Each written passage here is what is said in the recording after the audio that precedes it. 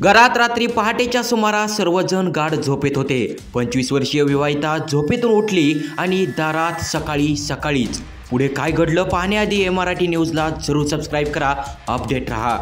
तर कोमल श्रीकांत राऊत असे त्या महिलेचे नाव आहे.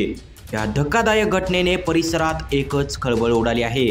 आष्टी तालुक्यातील साबलखेड येथे माहेर असलेल्या कोमल हिचा काही वर्षापूर्वी दामणगाव येथील श्रीकांत कल्याण राऊत त्याच्याशी विवाह झाला होता.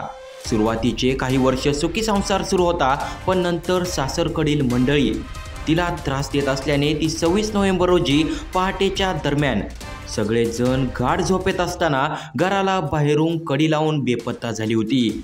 बेपत्ता झाल्याची तशी नोंद पती श्रीकांत कल्याण राऊत यांनी सत्तावीस नोव्हेंबर रोजी अंबारा पोलीस ठाण्यात दिली.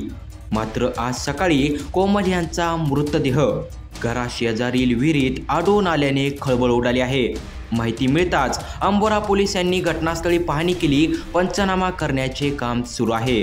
मुलीचा घातपात झाल्याचा संशय. कोमलीला गेल्या काही अनेक महिन्यांपासून सासरकडील मंडळी त्रास देत होते.